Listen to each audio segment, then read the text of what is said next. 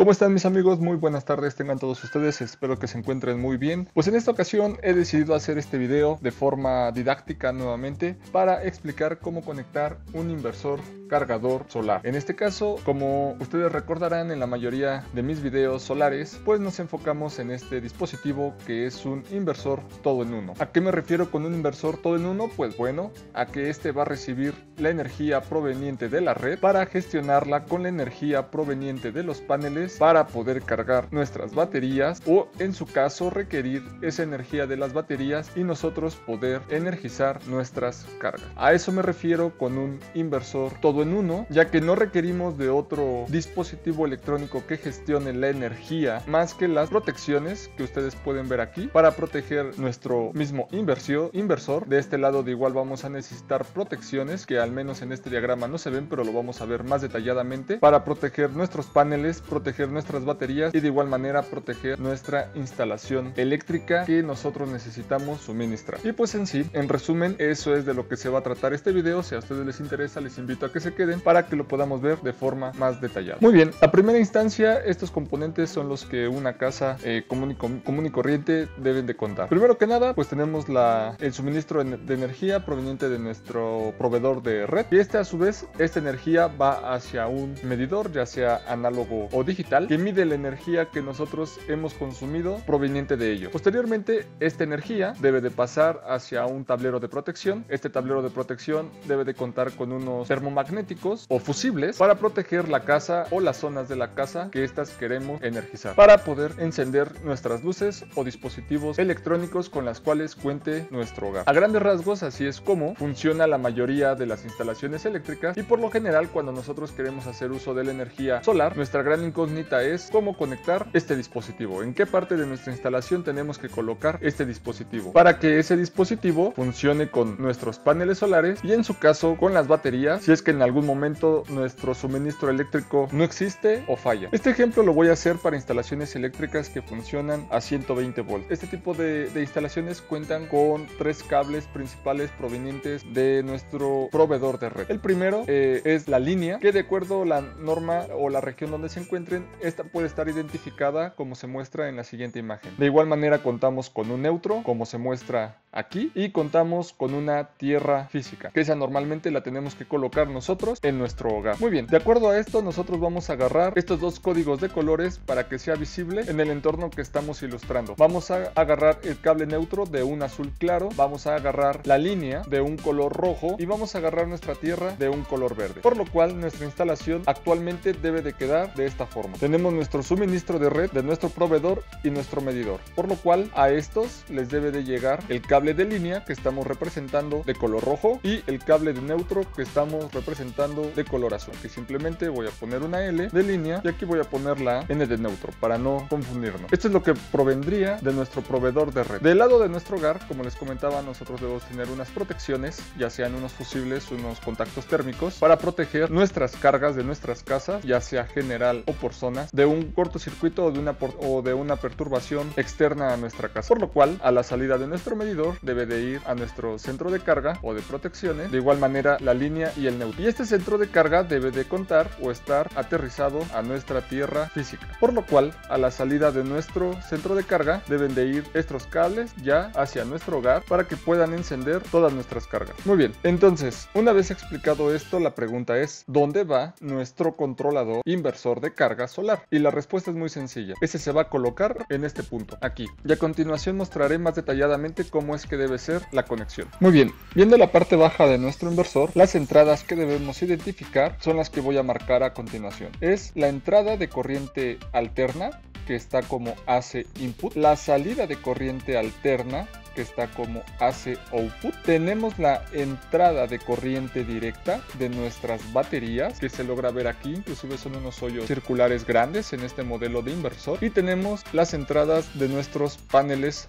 solares en la parte superior donde les muestro. Entonces, una vez teniendo esto, la secuencia en la que los vamos a conectar primero es, vamos a conectar primero nuestras baterías, posteriormente nuestras entradas y salidas de corriente alterna y hasta el último nuestros paneles. Muy bien, entonces ya habíamos quedado que estamos trabajando con corriente alterna a 120 volts a una línea el cual la línea la estoy representando de color rojo, el cual la línea la estoy representando en color rojo y el neutro la estoy representando en azul claro. Muy bien, hasta aquí es lo que nuestro proveedor de red debe de suministrar. Vamos a concentrarnos en cómo conectar nuestro inversor. Y primero vamos a conectar las baterías. ¿Dónde se encuentra el conector de baterías? Como les había comentado, está en esta parte, donde dice DC Input. Echando una vista grande hacia esa parte, así es como vamos a encontrar el conector del inversor para conectar las baterías. En la parte interna muestra dónde se conecta el positivo, que, es, que viéndola así como se muestra la imagen está la parte izquierda y tenemos el negativo que se muestra en la parte derecha. Entonces, con base a ello y aquí representando nuestra batería de esta forma, tenemos que conectar nuestras baterías de la siguiente manera. La terminal positiva al positivo de nuestra batería y la terminal negativa al negativo de nuestra batería. Hay que recordar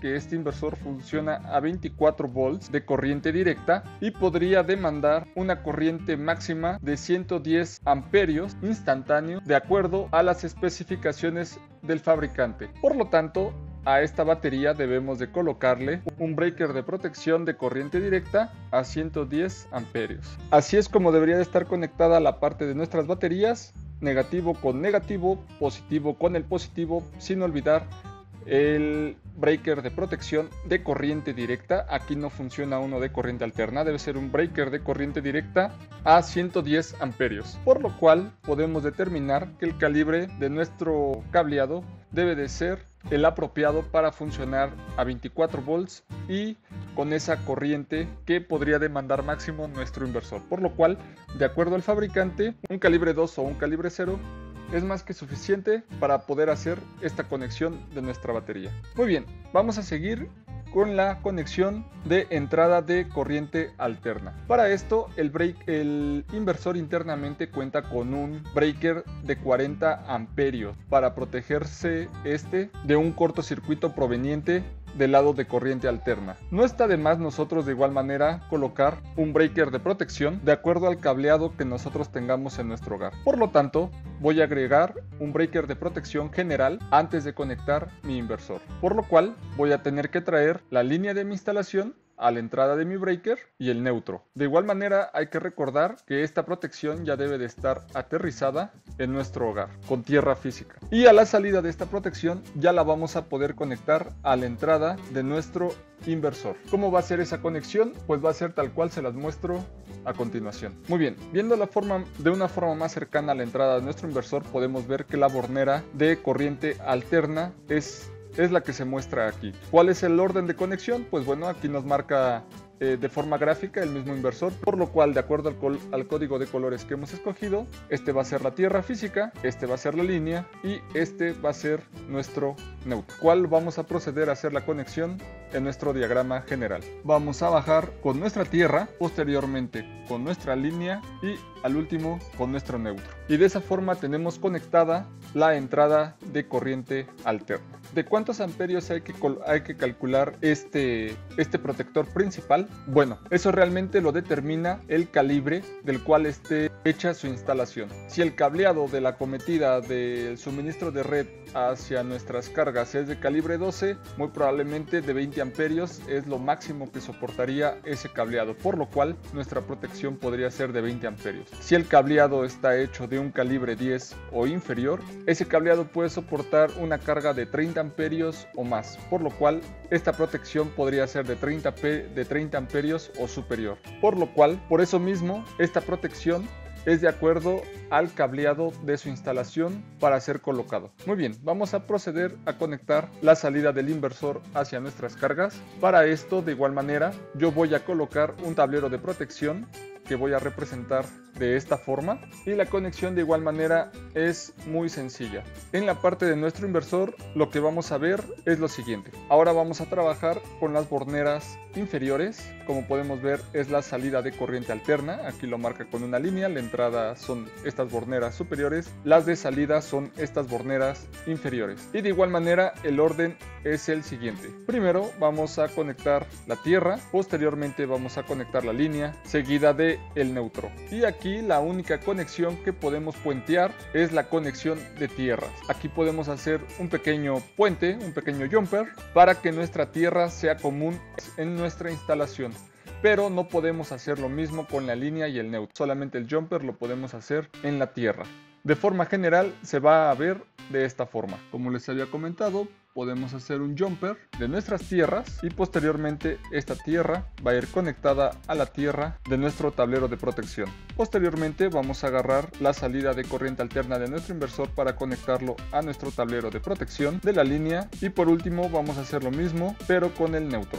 Ahora sí, este tablero de protección ya sea que sea de igual manera uno general para toda nuestra casa o aquí ya podemos hacer división por niveles, por zonas, eh, por cargas, etcétera. Ya cada uno eh, lo determinará en su hogar. Y por último, pues bueno, de nuestro segundo centro de carga, ahora sí ya va conectada a nuestros contactos de nuestro hogar para poder energizar nuestras cargas. Por último, lo que nos quedaría conectar serían nuestros paneles solares. En el caso de este inversor, soporta 2000 watts en paneles en un rango de 30 volts de corriente directa a 95, si mal no recuerdo, volts de corriente directa. Esto quiere decir que si tengo paneles de 250 watts, puedo colocar 8 paneles de 250 watts. ¿Cómo los tendría que colocar? Pues bueno, puedo colocar dos paneles en serie por 4 paneles en paralelo para estar dentro de los rangos del voltaje ideales del controlador MPPT. De esta forma solamente voy a representar los paneles de esta manera y de igual manera poniendo la representación de un cable positivo en color rojo voy a conectar la terminal positiva de mi inversor a mi panel positivo y la terminal negativa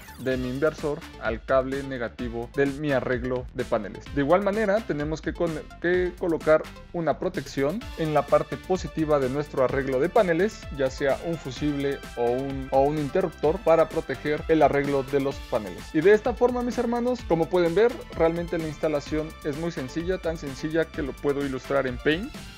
ilustrándoles de una forma general, pero a la vez detallada en las borneras de, de, este controlador, cómo se debe de hacer la instalación en sus hogares.